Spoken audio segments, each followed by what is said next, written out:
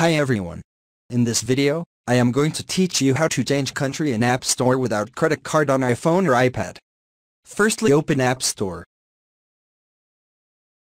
Now you can see, tap this option on top right corner.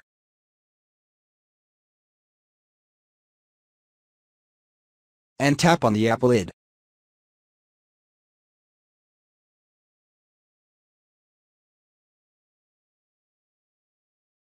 Authenticate with password or Touch ID, if required.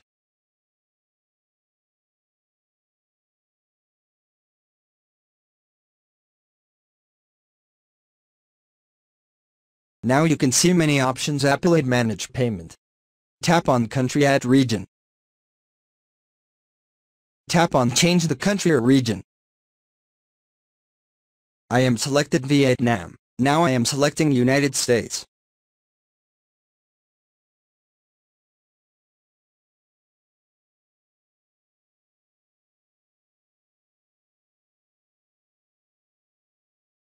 Tap on the green now.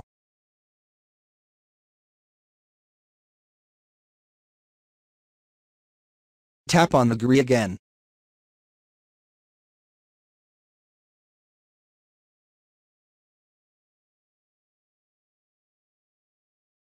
Under Credit and Debit Card, select None. Scroll down and fill your address.